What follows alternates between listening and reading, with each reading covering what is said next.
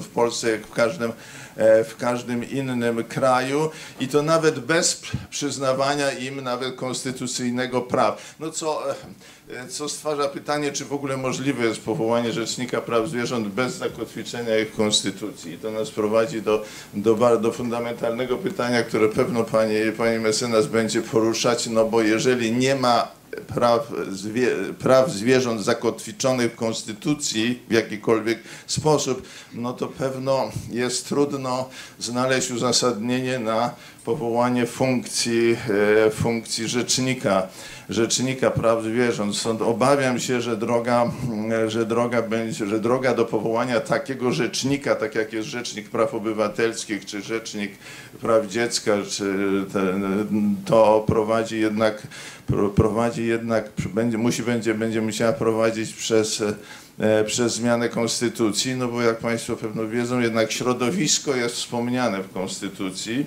natomiast zwierzęta per se w konstytucji nie są wspomniane. No, mamy nadzieję, że przy okazji jakiejś zmiany konstytucji, o której się coraz częściej mówi, e, może uda się przynajmniej gdzieś dołączyć do, do środowiska jeszcze słowo zwierzęta. W jednym z trzech miejsc, trzech artykułów Konstytucji, w których występuje środowisko, no, e, bardzo, byłoby, to, byłoby to bardzo istotnym krokiem naprzód, który by pozwolił na powołanie takiego rzecznika.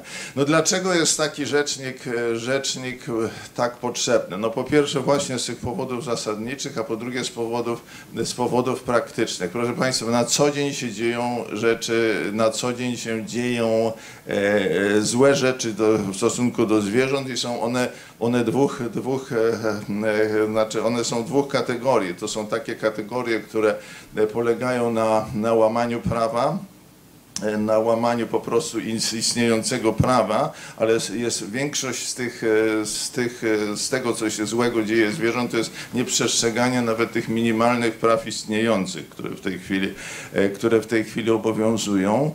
No i na co dzień E, e, tak, no i na co dzień no nie ma instytucji, która by była upoważniona, która byłaby upoważniona do formalnej interwencji w takich sprawach. Nie ma takiej instytucji. To znaczy, jak się coś dzieje bardzo złego, e, jak e, no, powiedzmy, powiedzmy nasz wspomniany nasz ulubieniec minister Danowski próbuje, próbuje znowu, znowu zrobić coś złego zwierzętom, no to my możemy, organizacje pozarządowe mogą, mogą protestować, mogą robić pikiety, mogą pisać mogą pisać coś do prasy, natomiast no, nie ma formalnej drogi, która by, e, która by e, spowodowała, która nie ma, tak, nie ma platformy, nie ma formalnej procedury, która by umożliwiła zakwestionowanie i poddanie na przykład pod debatę sejmową, czy, czy pod debatę rządową postępowanie takiego czy innego, e, takiego czy innego ministra. Więc z tego punktu widzenia,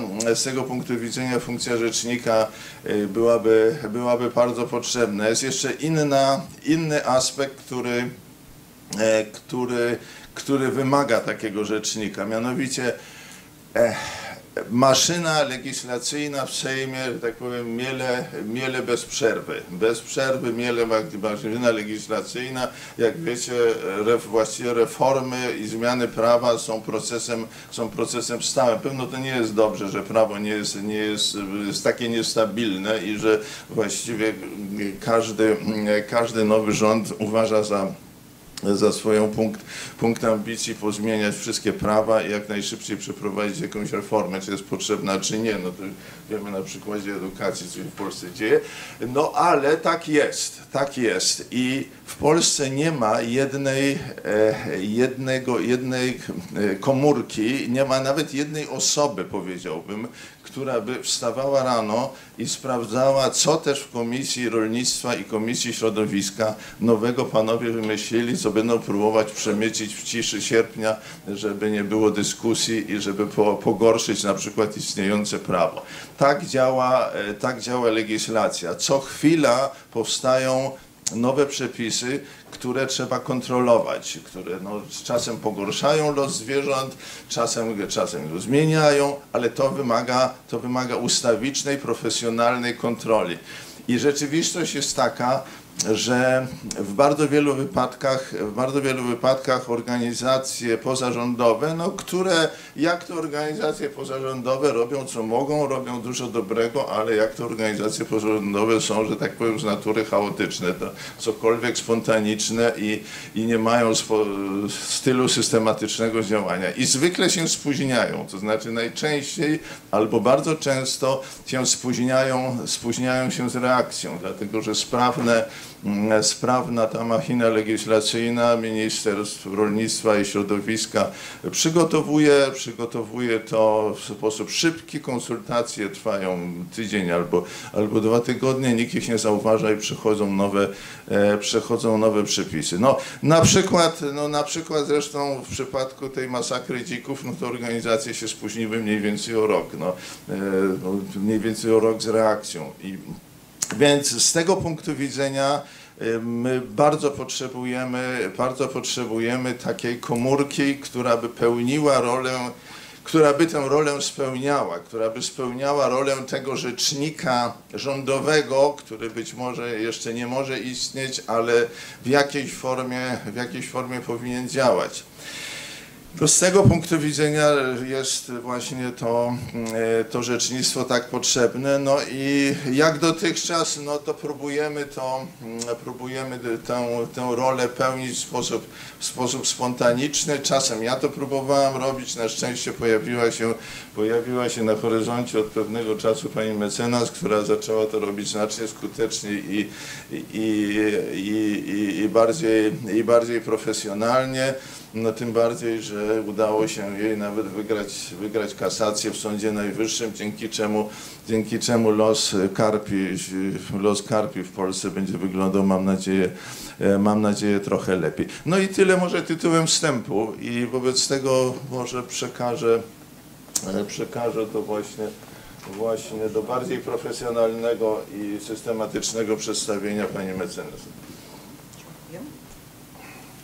Pani mecenas, oddaję głos. Proszę od Państwa, czy ten mikrofon działa? Halo, halo?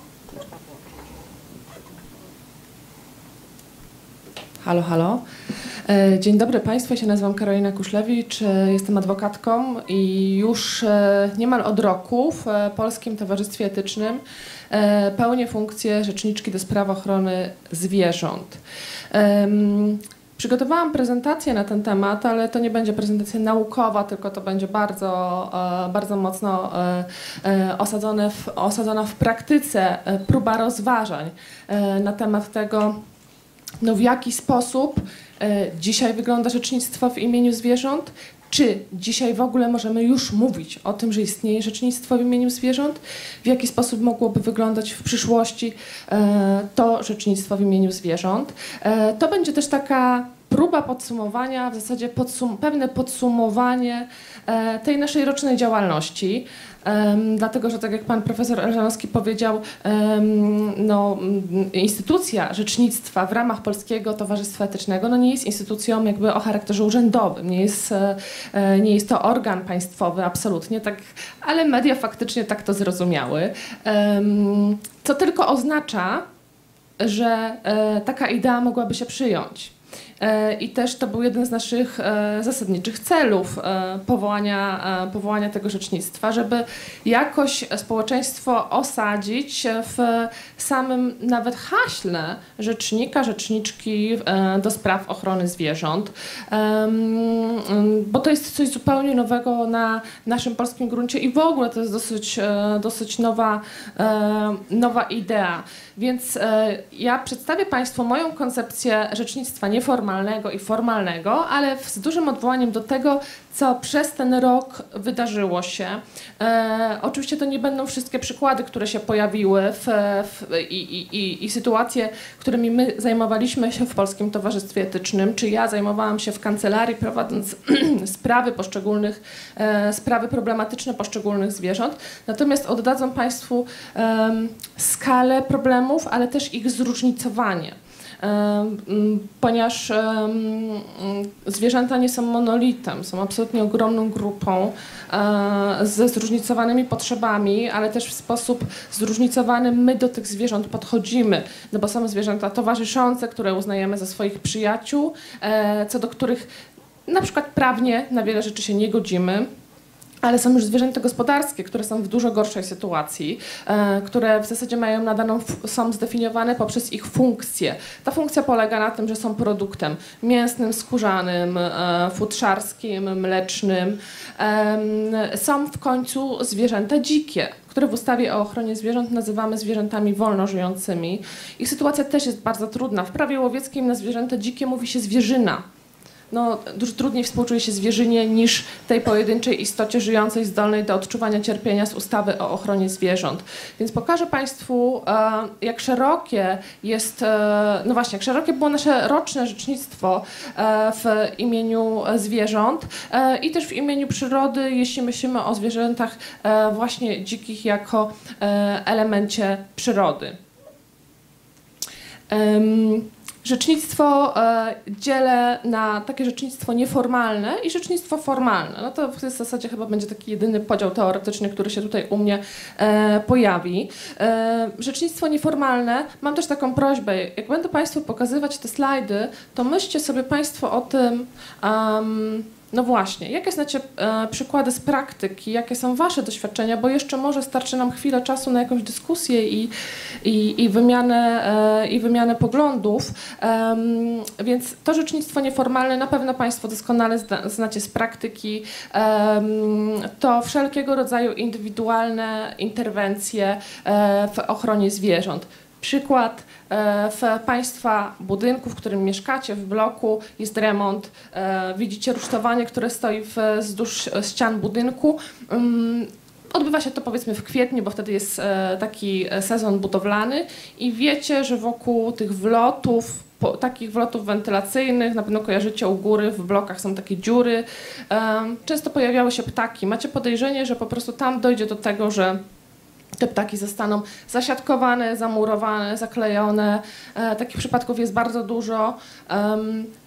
I na przykład na zebraniu spółdzielni mieszkaniowej mówicie, moment, musimy zatrzymać te prace albo nie dopuszczajmy do tych prac, zanim nie zrobimy opinii ornitologicznej. To jest obowiązkowe, wynika to z prawa ochrony środowiska.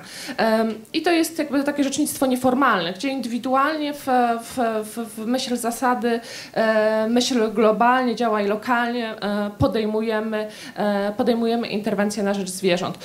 Drugie ogromnie istotne narzędzie rzecznictwa nieformalnego to komunikowanie medialne o problematyce e, związanej z ochroną zwierząt.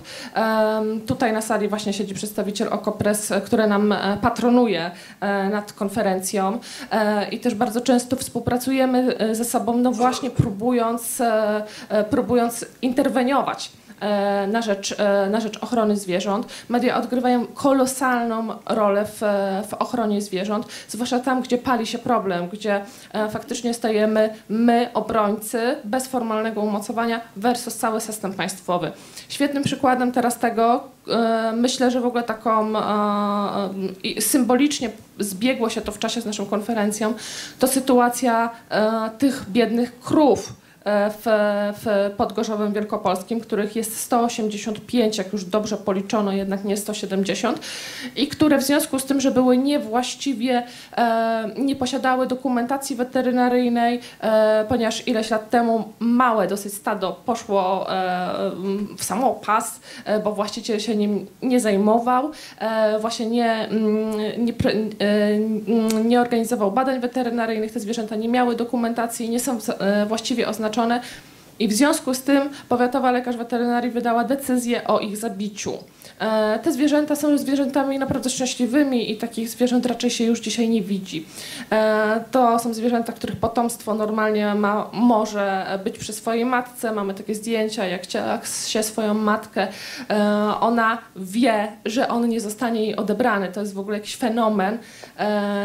I te krowy, no, oczywiście, no, na pewno miały też dojmujące momenty bez tej opieki należytej. Natomiast one w gruncie rzeczy i tak były szczęśliwsze. E, No i stanęliśmy w obliczu takiej sytuacji, jak uratować te krowy, no bo przecież one mają prawo do życia. Em, I fakt, że e, nie mogą być wprowadzone na rynek jako mięso, nie mogą być zabite dla mięsa, bo nie wiadomo do końca skąd pochodzą, nie oznacza, że w związku z tym są tak nieprzydatne, że trzeba je zabić. No ale według inspekcji weterynaryjnej tak to oznacza. To jest zresztą to, co mówił pan profesor o tym, że no nie mamy dzisiaj umocowania, takiego umocowania w organie na szczeblu państwowym, czy gdzieś tam na szczeblu Centralnej Administracji Rządowej, która stałaby po stronie zwierząt, bo teoretycznie jest nią inspekcja weterynaryjna, ale inspekcja weterynaryjna kierowana jest przez głównego lekarza weterynarii, który to podlega pod Ministerstwo Rolnictwa. A celem Ministerstwa Rolnictwa jest oczywiście zajmowanie się zwierzętami, ale zdecydowanie bardziej w kierunku ich eksploatacyjnego wykorzystania. E, No i optymalizacji produkcji przy zachowaniu minimalnych standardów, więc w jakiś konflikt zawsze będziemy wchodzić, niezależnie od tego, kto na tym stanowisku będzie i jakby jaki tam ma rys charakterologiczny. Z ministrem Ardanowskim akurat nie żyjemy najlepiej, ale z każdym ministrem rolnictwa trochę nie będziemy żyć najlepiej, bo mamy inne interesy jako przedstawiciele praw zwierząt, dlatego ten organ równoważący em, te interesy, e, no przynajmniej z, je, przynajmniej z, jakiś, z jakimś choć trochę e, proporcjonalnym umocowaniem e, powinien być. I dzięki właśnie temu rzecznictwu nieformalnemu, em, które zaczęło się od e, artykułów OKO.press w poniedziałek wieczorem, sprawa, w zasadzie sprawą zainteresowała się cała Polska, wszystkie media. No, jest szansa na to, że umówimy się z głównym lekarzem weterynarii, krowy nadal żyją, okazało się, że w ciągu 48 godzin udało się znaleźć domy dla 185 krów. Ba, udało się znaleźć dla 500, tyle, tylko dla tylu nie potrzebujemy. E, więc to jest jakby niesamowicie silny e, filar rzecznictwa. Oczywiście działalność edukacyjna i naukowa, czyli to, co my w tej chwili e, robimy. Pokażę Państwu e, niesamowity proces, który się odbył w Sądzie Najwyższym w tym roku w obronie wilka, obalający mit e, złego wilka, właśnie proces edukacyjny dla dzieci. To pokażę Państwu zaraz na, na slajdach. No i happeningi, akcje artystyczne i tak dalej. Tych, e, tego rzecznictwa nieformalnego e, jest całe mnóstwo. Wszystko to, co robimy jako e, prywatne osoby, e, którym zależy, po prostu, którym zależy. Rzecznictwo formalne to występowanie na zasadzie stron w postępowaniach sądowych i prokuratorskich. To jest może trochę nudne się wydaje, ale to jest szalenie ważne, bo e, z jednej strony e, jest jakby krzyk w imieniu zwierząt i to dzisiaj musi być krzyk, bo zwierzęta są w fatalnej sytuacji, jakby zwłaszcza te eksploatowane na skalę przemysłową. E, A z drugiej strony no, mamy po prostu prawo, które jest e, lekceważone, które jest niewłaściwie wykonywane, już pomijając to, że jego stanowienie budzi wątpliwości, jego jakość też w stosunku do zwierząt jest wątpliwa, ale no, musimy, musimy walczyć o przestrzeganie tego prawa. No i tutaj brakuje tej instytucjonalnej reprezentacji e, zwierząt, bo jeśli prokuratura mówi, nie dopatruje się na przykład znęcania nad zwierzętami, to sprawa się kończy. Nie oznacza to, że naprawdę się powinna skończyć, bo w, przynajmniej z mojej praktyki zawodowej wynika, że naprawdę w dzie- w 90% sytuacji umorzeń, postępowań one są wadliwe i ktoś tu musi zaskarżyć, a zwykle nie ma takiej e, instytucji. Em, no i e, uprawnienia kontrolne w zakresie postępowania ze zwierzętami, to też jest rzecznictwo formalne. No dzisiaj ma to znowu inspekcja weterynaryjna i tutaj świetny przykład karpi. My mówimy, e, że karpi nie można przenosić bez wody i jest to moim zdaniem absolutnie sprzeczne z ustawą o ochronie zwierząt, która wymaga wody e, w, w, w transporcie i przetrzymywaniu karpi, a główny lekarz weterynarii przez kilka lat, już na szczęście teraz tego nie zrobił, wydawał wytyczne mówiące o tym, że można nosić e, ryby bez wody. Więc jakby no, uprawnienia kontrolne, ale już bardzo mocno po stronie zwierząt. Inicjowanie wystąpień do organów władzy publicznej, sygnalizowanie problemów, również rozwiązań legislacyjnych. To oczywiście w części robią organizacje pozarządowe, ale to jest to, to jest takie półformalne rzecznictwo. No i właśnie tutaj e, po środku macie Państwo działania organizacji pozarządowych, których statutowym celem jest ochrona zwierząt. To jest takie półformalne rzecznictwo, dlatego że organizacje mają na przykład w postępowaniach karnych z ustawy o ochronie zwierząt prawo strony. Więc one mogą występować jako strona pokrzywdzona, mogą składać zażalenia, mogą składać subsydiarne akty oskarżenia, apelacje, nawet kasacje, bo my w sprawie Karpi właśnie tak doszliśmy do Sądu Najwyższego, że jako organizacja pozarządowa złożyliśmy, em, e, złożyliśmy kasację. Ale jaki jest problem? Problem jest taki, że organizacje, organizacje głównie działają interwencyjnie. Często są to małe organizacje, takich dużych, systemowo działających mamy tylko kilka. No i taka mała organizacja, nawet w przypadku psa, psa na, na łańcuchu, jedzie na interwencję, odbiera tego psa, musi złożyć zawiadomienie do wójta, musi przejść postępowanie administracyjne, zwykle musi się od niego odwołać, musi wnieść e, sprawę karną, jak ją umorzą, to musi wnieść zażalenie i tak dalej. To jest po prostu nie do zrobienia dla małej, na przykład trzyosobowej organizacji pozarządowej i często sprawa upada i z formalnego punktu widzenia zwierzę powinno wrócić do swojego oprawcy. E, Więc mimo takich, powiedzmy, takiego punkciku zaczepienia dla organizacji to jest zdecydowanie za mało. Plus nasze państwo w mojej ocenie zupełnie umyło ręce dzięki temu, bo ono wsadziło do ustawy o ochronie zwierząt kilka kompetencji dla organizacji i teraz mówi, no dobrze, ale organizacja może zrobić interwencję. Policja też może. Dlaczego jej nie robi? Dlaczego policja prawie nigdy nie robi interwencji na rzecz zwierząt? E, A to byłoby dużo bezpieczniejsze dla wszystkich. Mm, Więc em, państwo po prostu przerzuciło moim zdaniem prawie cały ciężar takiej instytucjonalnej czy quasi-instytucjonalnej reprezentacji zwierząt na organizacje pozarządowe samofinansujące się, tak, bo również ciążyło się ze strony finansowej e, z tego. Em, no i przykłady spraw wymagających rzecznictwa. E, Tutaj mamy sprawę Karpi, o które walczymy. Ta sytuacja się już znacznie poprawiła dzięki wyrokowi Sądu Najwyższego, ale jeszcze mamy dużo do zrobienia. To jest zdjęcie z 2018 roku. Klasyka, czyli jakby ryby trzymane w e, takich ażurowych, e, w ażurowych pojemnikach, jak na owoce i warzywa. Rzecznictwo powinno uwzględniać różne grupy zwierząt, w tym ryby i ptaki, takie nieoczywiste grupy. O, coś tu mi nie przeskakuje. Momencik. Pani profesor, czy ja mam jeszcze czas? Kontroluje czas dr Marcin Urbaniak. Dobrze, jeszcze- generalnie mamy chyba półtorej godziny. Dobrze, jeszcze widzę, że tak, jeszcze widzę, że mam. Dobrze, dziękuję bardzo. Em, no tutaj mamy, e, tutaj mamy slajd. E, autenty, to jest autentyczne zdjęcie tych krów, o których Państwu opowiadałam. Tych krów, które są em, z powodu, sam minister, bo on jest organem jakby rządowym bardzo wysokim. Normalnie my nie możemy tak naprawdę nic zrobić. My musimy szukać jakichś naokoło ścieżek. Oczywiście je znajdujemy, ale to są ścieżki bardzo naokoło prawne, e, żeby w ogóle się dostać do tych postępowań. Rzecznictwo formalne powinno powodować, że możemy na przykład wnieść wniosek o wznowienie takiego postępowania karnego. Nomen omen powiem Państwu ciekawostkę, bo to jest bardzo moim zdaniem ważne. W tej sprawie zapadł z tego, co, się co, co wiem, zapadł wyrok sądu karnego skazującego właściciela tych zwierząt za znęcanie się nad nimi. To znęcanie miało polegać no właśnie na ich zaniedbywaniu, bo znęcać się można również przez zaniechanie. E, zapadł wyrok, sąd uznał go za winnego znęcania nad zwierzętami. I uwaga, nie orzekł ich przepadku. Przypadek polega na tym, że się zwierzęta odbiera już na zawsze i daje do innej, innego podmiotu, żeby tam miały bezpiecznie. To jest naturalna konsekwencja skazania za przestępstwo znęcania nad zwierzętami. Sąd nie orzekł tego przepadku, a za to, a za, e, a za to zobowiązał e, właściciela, czyli tego, którego uznał za sprawcę, do wykonania decyzji o zabiciu zwierząt. Czyli mamy przykład ochrony zwierząt poprzez ich zabicie to jest kuriozum po prostu wykonywania, aberracja wykonywania ustawy o ochronie zwierząt. I stoimy naprawdę w bardzo trudnej sytuacji, bo my nie mamy, prawie że nie mamy formalnych narzędzi jako organizacje pozarządowe, żeby działać, choć oczywiście działamy i mamy nadzieję, że to się e, dobrze dla tych zwierząt jednak skończy. Kolejny, e, kolejny przykład rzecznictwa, e, no to właśnie rzecznictwo w procesach karnych.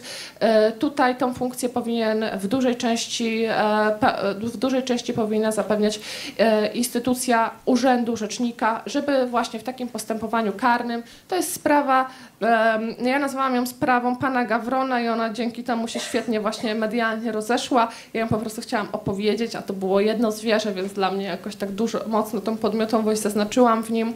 A to jest ptak, który w styczniu 2019 roku został po prostu postrzelony w Warszawie przez mężczyznę, który uznał, że no gawrony niszczą zieleń, więc jakby postrzela sobie do nich, w zasadzie chciał je chyba zastrzelić. To jeszcze ustalimy w postępowaniu karnym. No i znowu, my jako mała organizacja jesteśmy stroną w postępowaniu karnym, musimy chodzić na te wszystkie terminy. Przydał, przydałaby się instytucjonalna reprezentacja e, w procesie, żeby, żeby nas z tego odciążyć, zwłaszcza, że to są procesy o takim trochę strategicznym znaczeniu. Bo taki proceder strzelania do ptaków na pewno Państwo znacie jakby z całej Polski, e, bo to jest e, no jakaś, jakiś taki mechanizm odstraszania, odstraszania ich przed niszczeniem nie wiadomo czego, no według pana zieleni ogólnie mówiąc. No ogromna sprawa, której formalnie nie działaliśmy, ale działaliśmy na zasadzie rzecznictwa nieformalnego. E, ogromna sprawa no, rzezi dzików, tak, która odbyła się na początku, e, na początku tego roku. Em, no i to jest w, tutaj już obrońcy zwierząt stają w kontrze z ministrem środowiska, z ministrem rolnictwa, z Polskim Związkiem Łowieckim i my to, co możemy zrobić, to występować o, do, e, w ramach dostępu do informacji publicznej, o jakieś informacje, e, robić pikiety, robić apele, natomiast jakby formalnie też mieliśmy e, bardzo e, słabą drogę. Jak się okazuje, no w zeszłym sezonie łowieckim tych dzików zostało zabitych chyba 250 tysięcy, tak?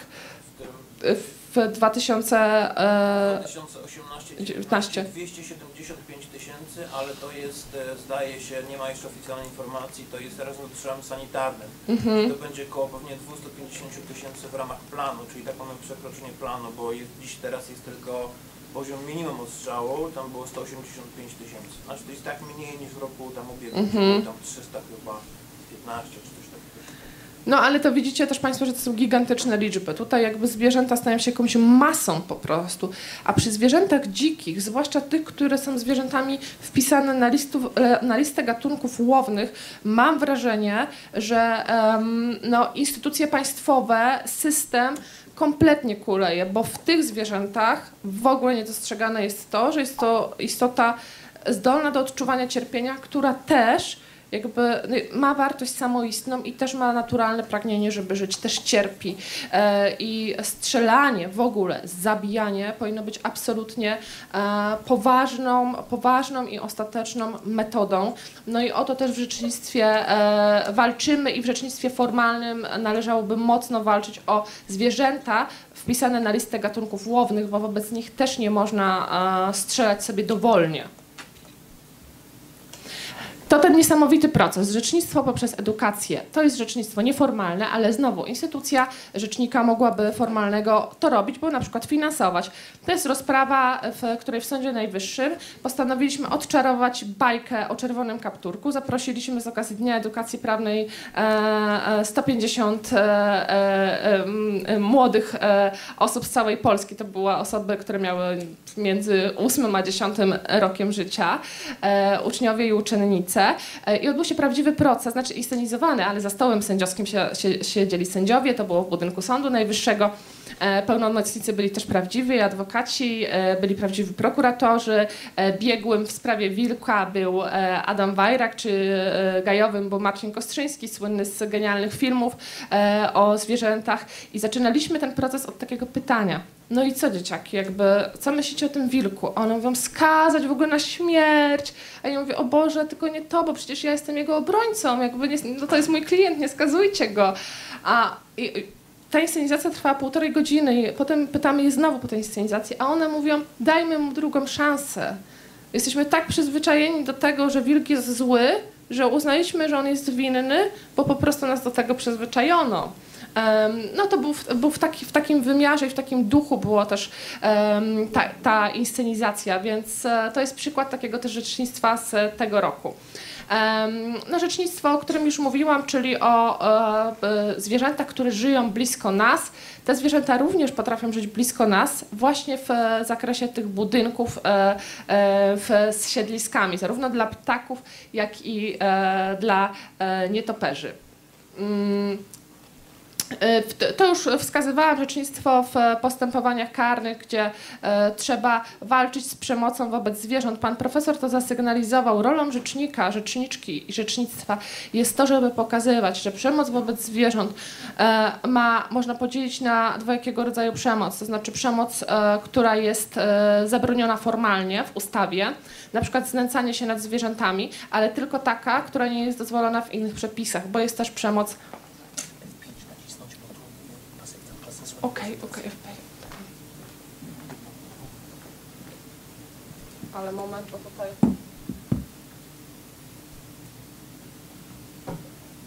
Naciskam, ale...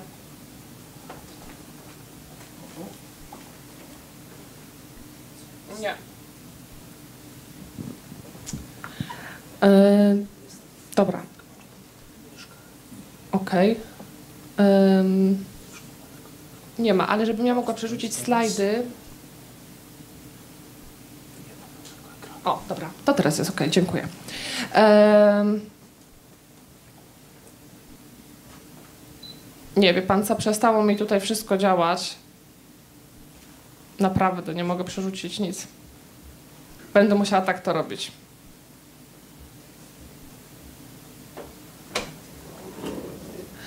Em, nie, bo tutaj jest ten pasek, który zasłania, ale jak go usuwam, to przestają mi przeskakiwać slajdy, więc. E, no i na koniec pokazuję Państwu e, takie zdjęcie z, z rzecz, rzecznictwa wartości, tak? no, czyli właśnie tego, że e, rzecznictwo też powinno w ogóle, oprócz tej takiej walki sformalizowanej, promować wartości, zwłaszcza w stosunku do e, tych zwierząt, które są teoretycznie zwierzętami tak zwanymi gospodarskimi i pokazywać, że one również mają prawa i one również podlegają pod ustawę o ochronie zwierząt, poszerzać, te, poszerzać te ich e, prawa, tak zwany dobrostan. Em, No tutaj jakby na zdjęciu mamy e, dwie kozy, które e, pokażemy też zresztą w, w, w gazecie Twój styl, co bardzo mnie cieszy. Bo cieszę się, że takie mainstreamowe e, miejsca, które wcześniej nie zajmowały się zwierzętami od strony praw zwierząt, chcą o tym pisać. No i to też z uwagi na, e, na to powołanie rzeczniczki, oni się tym zainteresowali. Mm, Dosłownie kilka słów o tym, jak zbudować rzecznictwo formalne według mojego wyobrażenia. Znacie Państwo w Polsce Rzecznika Praw Obywatelskich, Rzecznika Praw Dziecka, mm, Rzecznika Praw Konsumenta. Na pewno jeszcze jakichś tam rzeczników e, znacie, związanych z bankowością i tak dalej, ale ten, e, skoncentrujemy się na tym Rzeczniku Praw Obywatelskich. Tutaj zobaczcie, co jest wytłuszczone, jest słowo konstytucja wytłuszczona. To jest to, o, tym, o czym pan profesor mówił, to znaczy to mocne osadzenie wartości w konstytucji i być może e, właśnie potrzeba rozpoczęcia rzecznictwa od osadzenia zwierząt w konstytucji i uznania zwierząt za wartość konstytucyjną, bo Rzecznik Praw Obywatelskich stoi na straży między innymi e, wartości konstytucyjnych. Em, Rzecznik Praw Obywatelskich nie jest organem rządowym, ale jest organem państwowym. To jest bardzo ważne, dlatego że dzięki temu jest instytucją wyposażoną z budżetu państwa w środki, ma swój urząd i tak dalej, ale jest niezależny od rządu. Oczywiście jest wybierany przez e, parlament, e, ma swoją kadencję, e, natomiast no, jest organem niepodległym rządowi. To jest bardzo ważne, dlatego że, tak jak powiedziałam, no zawsze w tym zakresie będziemy wchodzili w kolizję e, z ministrem środowiska i ministrem rolnictwa, bo taka jest po prostu istota e, funkcji, które, które oni mają, które my, e, w których my dzisiaj jesteśmy przedstawicielami i przedstawicielkami. I tutaj em, macie Państwo taki trochę nudny, ale jednak bardzo ważny wykaz e, kompetencji e, Rzecznika Praw Obywatelskich, oczywiście takich tych najważniejszych. Em, wystąpienia problemowe, w tym wnioski o podejmowanie inicjatywy prawodawczej. Bardzo ważne. Wniosek o stwierdzenie niezgodności aktów normatywnych z przepisami wyższego rzędu. My, no, kto ma w, w sprawach zwierząt z tym wystąpić? Dotychczas znamy tylko procesy takie, że jakaś strona, mm, która się czuje pokrzywdzona, występuje e, z, przeciwko zwierzętom, prawda? E, słynny proces związany z ubojem rytualnym i tym, jak Trybunał Konstytucyjny w zasadzie zalegalizował w Polsce ubój rytualny, bo nie postawił żadnych granic w tym uboju. No teraz w Trybunale Konstytucyjnym jest sprawa, w której e, grupa posłów partii Kukiz-15 zaskarżyła tą e, dobrą nowelizację dla zwierząt związaną z prawem łowieckim i na przykład z tym zakazem e, szkolenia psów myśliwskich i ptaków łowczych na dzikich zwierzętach. Takich procesów, kiedy nasza strona zaskarża, e, no praktycznie nie ma i no, to są bardzo trudne procesy wymagające olbrzymiego przygotowania prawnego. Do tego musi być instytucjonalna e, reprezentacja.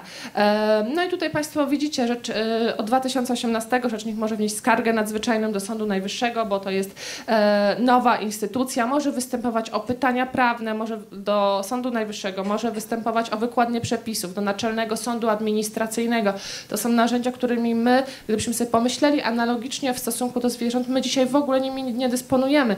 I teraz pytanie, czy my możemy sobie je wyobrazić w stosunku do zwierząt? Czy my mamy taką potrzebę? W mojej ocenie mamy taką wielką potrzebę, bo co chwilę spotykamy się z sytuacjami, no właśnie, wątpliwości interpretacyjnych, poważnych e, zagadnień e, prawnych, które no sami gdzieś e, na łamach publikacji naukowych czy w, komentarzach staramy się e, To w moim zdaniem mocno wzmocniłoby em, ochronę zwierząt. To jest bardzo ciekawe, że Rzecznik Praw Obywatelskich pełni też e, zadania Krajowego Mechanizmu Prewencji. Wizytuje e, miejsca między innymi związane z, e, z wykonywaniem kary pozbawienia wolności. Wyobrażałabym sobie, że Rzecznik e, e, Praw Zwierząt czy do spraw ochrony zwierząt również ma takie kompetencje kontrolne i wizytujące e, no, mocno w kierunku przestrzegania e, ustawy o ochronie zwierząt. To jest, to jest szalenie istotne. No i jeszcze kwestia organizacyjna. Dlaczego tak się wzoruje na tym Rzeczniku Praw Obywatelskich? Chociaż Rzecznik Praw Obywatelskich jest olbrzymio, jest, jest potężną instytucją państwową i e, myślę, że gdybyśmy byli w połowie tak silnie umocowani w kwestii zwierząt jak Rzecznik, to byłoby już e, bardzo dobrze, nawet w 30%. Ale to jest szalenie istotne, dlatego że mimo, że jest niezależny od rządu, posiada swoje biuro, posiada swoich pełnomocników terenowych, którzy posiadają swoje zespoły terenowe, czyli w całej Polsce jest siatka rzecznika. Wyobraźmy sobie rzecznika do spraw ochrony zwierząt, który ma swoje biuro, ma swój budżet, może składać te wszystkie ważne pisma do sądów, e, może na przykład występować w sprawie teraz w obronie tych krów i złożyć wniosek o wznowienie postępowania ale nie musi poszukiwać pieniędzy, nie musi robić, e, nie musi linkować zrzutka.pl, wpłaccie złotówkę, bo chcemy zrobić sprawę. On ma ten budżet i może to zrobić. Ma swoich pracowników, ma swoje działy, ma swoich prawników, ba, w, każdym województwie ma swoich przedstawicieli terenowych. No, wyobrażam sobie, że to bardzo wzmocniłoby ochronę zwierząt. Rzecznik e, Praw Obywatelskich e, budżetowany jest e, z budżetu państwa. W części 08 jakby budżetu państwa jest takie miejsce właśnie z uchwalanym budżetem Rzecznika Praw Obywatelskich. Tutaj oczywiście jest to zależność od parlamentu, prawda, no bo bo większość, bo większość w parlamencie to zwykle jakby jest to, to zwykle jest rząd. Natomiast no, e, jednak są to środki pozwalające e, na e, działania, więc e, no, to wsparcie finansowe i instytucjonalne e, z całym biurem, łącznie z budynkiem byłoby bardzo istotne. E, I myślę, że mamy szansę, mamy szansę do tego dążyć. Ostatni slajd, właśnie takie wyobrażenie, jakby mogło to rzecznictwo do, praw czy do spraw ochrony zwierząt wyglądać. Powołanie na mocy ustawy o Rzeczniku do spraw ochrony zwierząt. E, w ustawie zagwarantowane biuro Rzecznika Praw Zwierząt, zastępcy i pełnomocnicy terenowi Rzecznika, finansowanie z budżetu państwa, ogromne odciążenie, plus zakres kompetencyjny związany właśnie z wystąpieniami e, problemowymi, interwencjami, wizytacjami i tym wszystkim, o czym już e, dzisiaj wspomniałam. I em, myślę, że tak jak pan profesor powiedział, em, musimy o tym, em, musimy to rozważać równolegle z, z konstytucjonalizacją zwierząt. To uznanie zwierząt za wartość konstytucyjną jest szalenie istotne. Dlaczego? Dlatego, że jeśli jej nie uznamy, to zwierzęta będą przegrywać w takich procesach jak ołbój rytualny, bo ważniejsza będzie wolność uzewnętrzniania religii e, jako wartość konstytucyjna niż zwierzęta, bo zwierzęta są tylko wartością ustawową dzisiaj. Dziękuję.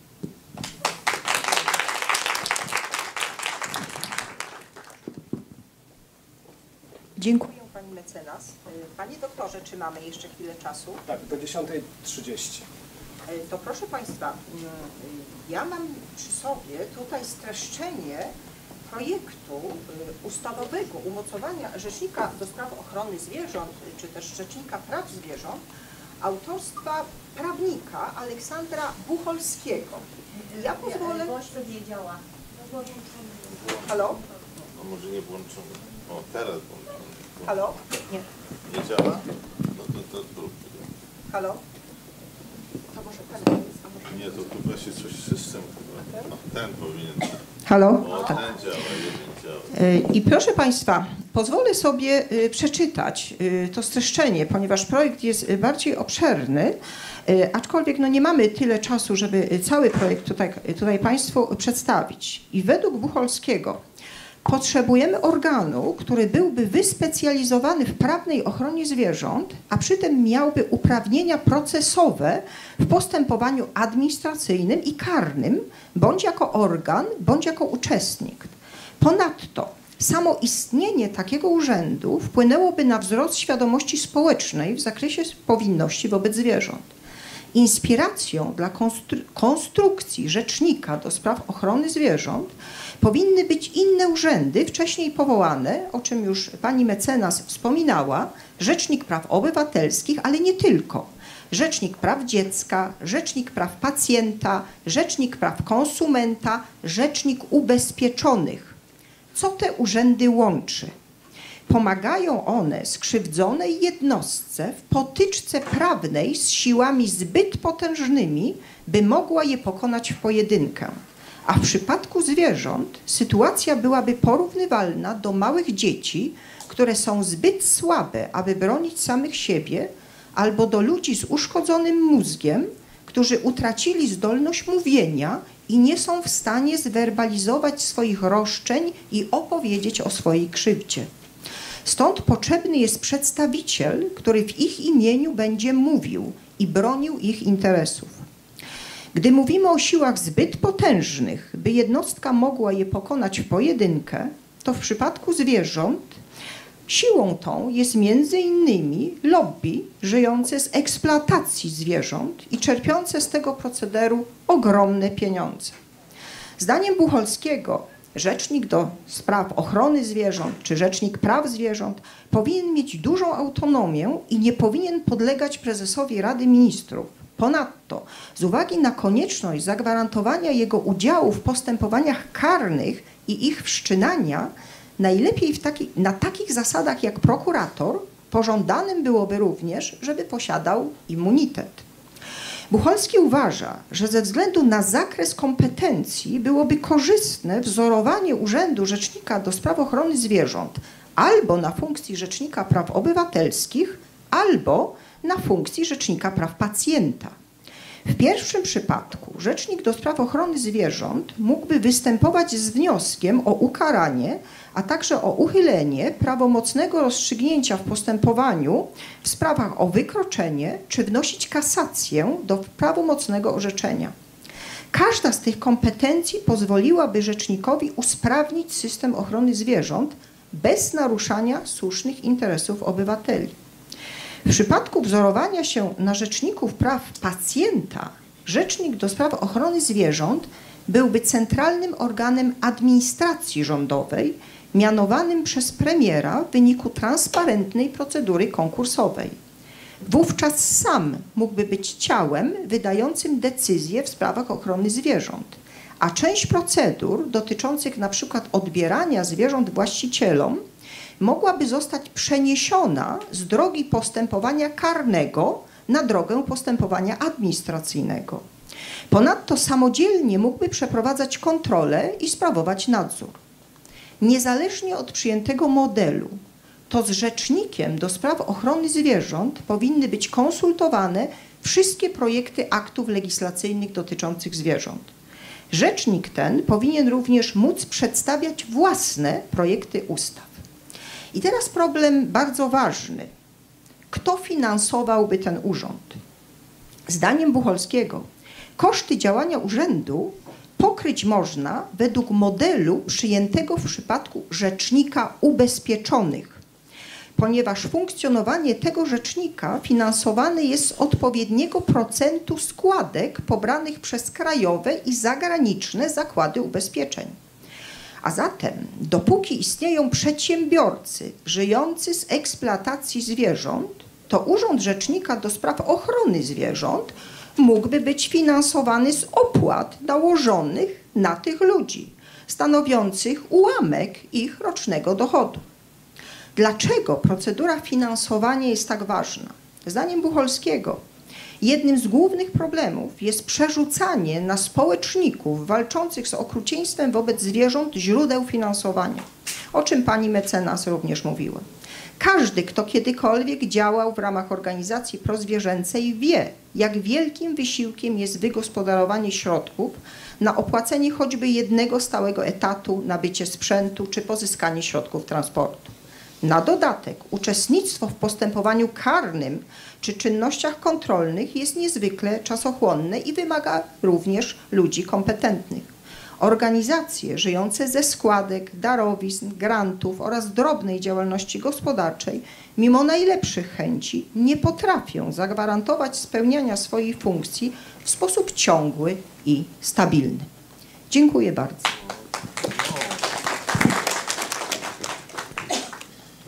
No to bardzo ciekawe wydaje mi się i e, jak to chyba działają, tak, tak. U mnie, u mnie działa już.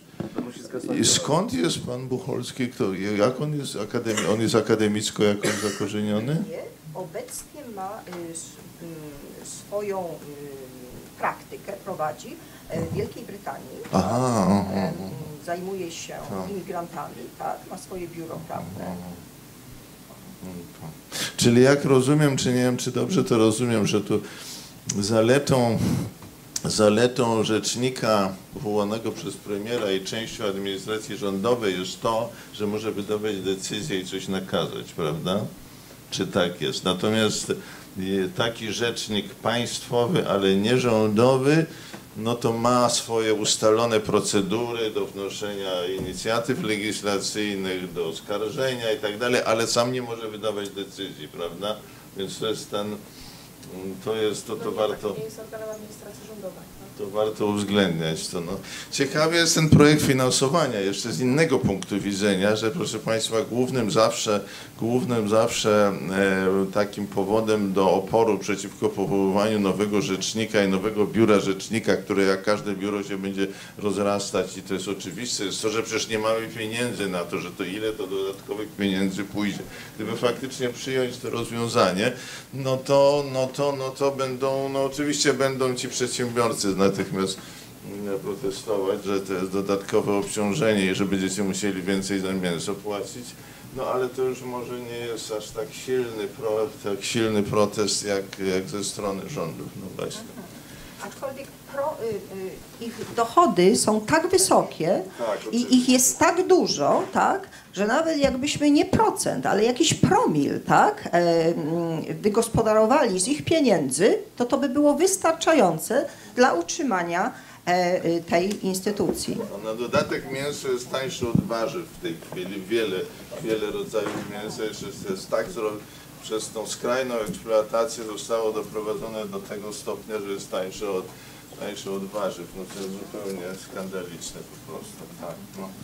Ale mnie się jeszcze, gdyby to jest bardzo ciekawy pomysł z tym finansowaniem, chociaż e, mam takie przekonanie, że bez e, w ogóle konstytucjonalizacji zwierząt e, nie można byłoby o nim myśleć, dlatego że no to jest znowu wchodzimy w ewidentną sprzeczność, znaczy jakby no, absolutnie uważam, że skarga do Trybunału Konstytucyjnego zostałaby wniesiona e, przez przedsiębiorców, że narusza to ich wolność, e, wolność e, e, przedsiębiorczości. E, i to pokazuje też, że właśnie te zwierzęta muszą wreszcie być wartością e, konstytucyjną, tak jak wolność uzewnętrzniania religii, czy właśnie e, no, ta wolność przedsiębiorczości, e, ochrona rynku i tak dalej, tak, żebyśmy, żeby one były wartością równorzędną, bo tu wyobrażam sobie, no, że wszelkimi środkami jednak e, przedsiębiorcy próbowaliby mm, uchylić się od tego, e, czy od tego potencjalnego obowiązku ze strony państwa, ale bardzo to jest, bardzo to jest ciekawe, żeby oni partycypowali. no właśnie, partycypowali w, w związku ze swoimi dochodami w ochronie zwierząt przed cierpieniem, której też są częścią, prawda? To na tej zasadzie jak, em, jak te wszystkie opłaty emisyjne i tak dalej, więc no, bardzo ciekawe. A czy, czy wobec tego ja dobrze rozumiem, że te podatki, po, które są pobierane od no właśnie środowiskowe, że tak powiem, od paliwa, przy okazji paliwa i tak dalej, czy one są wobec tego oparte na, na tym, że środowisko jest w konstytucji? Tak? To ma z tym związek? Czyli gdyby nie było wzmianki ym, o środowisku w konstytucji, to by nie był ten podatek możliwy? No ja nie umiem tak teraz, e, to jest bardzo skomplikowana kwestia, tak? To była moja, e, to jest, e, no, środowisko jest wartością konstytucyjną i państwo ma obowiązek ochrony środowiska również z uwzględnieniem no, jakby tego dobrostanu ludzkiego, tak? Bo środowisko chronione jest też jako powiedzmy pewne prawo do życia, tak? Prawo do życia w e, czystym środowisku. E, więc no, w, w tym zakresie to po prostu e, myślę, że ten opór ze strony przedsiębiorców jest zabezpieczony tym, że jest to wartość konstytucyjna, ale ja no, nigdy tego w taki sposób i pod tym kątem nie analizowałam też. No, ale zwierzęta to też środowisko, nie? E, Cześć. To jest bardzo trudne. E, No, wiadomo, nie będę zaprzeczać, bo w niektórych procesach korzystam z tego przepisu, e, że zwierzęta są częścią środowiska, natomiast w tym znaczeniu, w jakim to jest konstytucyjnie, tam jest mowa o ochronie środowiska naturalnego, to możemy, e, e, te- ten przepis możemy stosować moim zdaniem w w części, w niektórych sytuacjach do ochrony zwierząt dzikich, tak? które są częścią ekosystemu. Wtedy tak, natomiast do zwierząt gospodarskich czy do zwierząt towarzyszących, no, em, myśl, no najlepsze byłoby, gdyby, gdybyśmy e, zawartość konstytucyjną uznali tą ochronę e, przed cierpieniem, przed niehumanitarnym traktowaniem, czyli wyeksponowali tą, tą istotę tego, co jest prawami zwierząt. Pan redaktor? Jurszo, tylko trzeba... Chciałem donośny głos, Tak. E, to czy pytanie jest takie, Robert już Okopres, e, do Pani Rzecznik. Mm, Czy Rzecznik Praw Zwierząt powinien być również Rzecznikiem Dzikich Zwierząt? Bo e, ochroną zwierząt towarzyszących czy gospodarskich jakby rządzi jedna logika prawna i trochę jakby inna wrażliwość moralna niż ochroną zwierząt dziko żyjących. Dlatego, że w ochronie zwierząt dziko żyjących przedmiotem troski jest gatunek a nie, e, e, a nie e, jakby jednostka. Natomiast w ochronie zwierząt towarzyszących tam tych domowych czy gospodarczych przedmiotem troski jest konkretny pies, konkretna krowa. Jeśli chodzi o to, to pierwsze podejście, czyli to takie powiedzmy kładące nacisk na jednostkę w ochronie zwierząt dzikich jest bardzo trudne i kłopotliwe, no bo wyobraźmy sobie taką sytuację, jak nie wiem, introdukcja cietrzewia na jakimś tam powiedzmy obszarze. Żeby zintrodukować gdzieś tam takiego ptaka jakim jest cietrzew, no to trzeba na przykład ograniczyć populację lisów na danym obszarze. A ograniczanie populacji lisów na danym obszarze no nie polega na tym, że się te lisy wyłapują, znaczy one mogą być wyłapywane, mogą być też ostrzeliwane, ale zwykle one są usypiane, e, ponieważ no mówiąc brutalnie, nie ma co z tym lisem zrobić, tak? A lisów tak, i tak jest dużo, powie każdy ochroniarz. To jest jakby to. Zrozumiałe, tak? Jasne? Yy, Moim zdaniem rzecznictwo to formalne powinno dotyczyć wszystkich zwierząt, również zwierząt dzikich, które są w ustawie o ochronie zwierząt wymienione jako zwierzęta wolno żyjące. Ja bym e, bardzo mocno łączyła rzecznictwo z ustawą o ochronie zwierząt, którą oczywiście trzeba znowelizować. Natomiast e, no właśnie w takim zakresie, który dotyczy e, przede wszystkim ochrony przed cierpieniem. Em, tak, i tutaj też zdarzają się takie sytuacje, w których e, na rzecz dzikich zwierząt trzeba zainterweniować. E, no to są też to są, to są sytuacje na przykład związane z ograniczaniem, e, z, z ograniczaniem łowiectwa, czy z zasadnością jakby e, prowadzenia tak zwanej gospodarki łowieckiej, jej skali, jakby sposobu i tak dalej. E, No bo tak jak pan profesor powiedział, rzecznik, e, gdyby, jeśli myślimy o nim jako takim organie państwowym, ale nie rządowym, nie administracji rządowej, no też nie administracji samorządowej, więc nie będzie organem, który będzie wydawał decyzje, tak? No jakby i tak nie uciekniemy od tego, co jest konfliktem interesów, tego, co postanawia Ministerstwo Środowiska na przykład w stosunku do dzikich zwierząt E, i rzecznik oczywiście też powinien no, funkcjonować zawsze w ramach prawnych, to znaczy z pełną świadomością tego, że są takie sytuacje, w których dochodzi, e, które uzasadniają z przyczyn wymienionych właśnie w prawie, e, uzasadniają no niestety zabicie zwierzęcia. Tak? No, to jakby od, od tego też w 100% przecież nie uciekniemy, ten rzecznik nie może być utopijny i nie może mówić uratujmy wszystkie zwierzęta, jakby, bo wtedy też e, no, przestanie być racjonalny, przestanie mieć tą siłę przebicia, więc uważam, że w stosunku do dzikich zwierząt absolutnie tak, ale właśnie w kontekście jakby ich ochrony przed niesłusznym zabijaniem, przed cierpieniem w ramach e, prawnych, które są lub takich, które rzecznik uważałby, że należy zmienić. Tak? No tutaj już wchodzimy w taką sferę już bardziej lobbowania na rzecz zmiany przepisów. Mam pytanie, a jak to jest w innych systemach prawnych? Czy są jakieś takie modele, na których można się wzorować? Ja nie słyszę tego, co mam. Pani pyta, czy są modele prawne, na których można się wzorować. Modele prawne? No to powiem. E, Jeśli chodzi o orzecznictwo, to specjalnie takich modeli nie mamy zbyt wiele. Myślę, że to, co może, tym, co możemy się wzorować i też myślę o takim prawie, które jest no, prawem e, bliskim nam, czyli takim prawem europejskim, no to przede wszystkim e, nasi niedalecy sąsiedzi w Austrii jest instytucja TIR Om- Ombudsmana. To jest no właśnie finansowana przez państwo. W, tacy przedstawiciele właśnie e, TIR ombudsmanowie są w każdym e, Bundeslandzie i oni występują właśnie no, w e, sprawach związanych z ochroną zwierząt. I to jest, e, i to jest e, tak naprawdę, to jest najbliższa, ta instytucja austriacka jest najbliższa e, temu, o czym e, my mówimy, a tak naprawdę to myślenie o orzecznictwie jest dosyć, no, dosyć nową instytucją. To znaczy, no, byśmy byli też e, mocno przełomowi w tym, jeśli uchwalilibyśmy taki urząd, ale jesteśmy czasem trochę przełomowi, no bo te zmiany zeszłego roku w prawie łowieckim e, na tle Europy były jednak też bardzo pozytywne.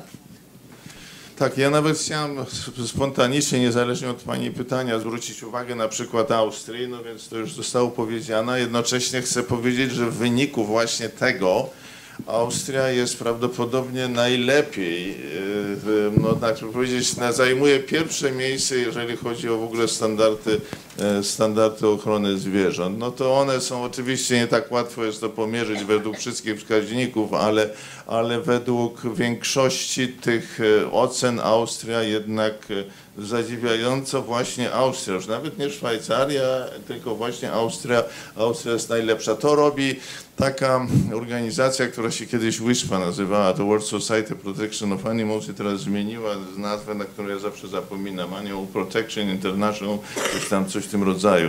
I ona robi takie oceny poszczególnych krajów według rozmaitych wskaźników, a to eksperymentalne, a to dzikie i tak dalej. No i właśnie Austria dzięki, chyba dzięki temu właśnie, no zajmuje, e, no jak również dzięki działalności takiego wybitnego tego Baluk, jest taki Martin Baluk, który wybitny facet, który się nam niesłychanie przyczynił do, e, do, tej, do poziomu ochrony zwierząt. No więc, e, no więc tak, więc mamy przykład, więc mamy przykład, mamy na jakim przykładzie się, się oprzeć.